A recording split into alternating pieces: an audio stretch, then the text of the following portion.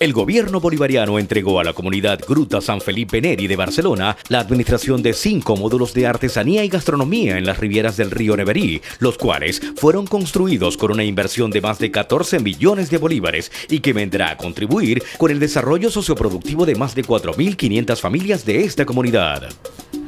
va a ser un espacio donde 12 madres de familia, ¿verdad? Están en este momento 12 madres de familia van a tener una mejor calidad de vida.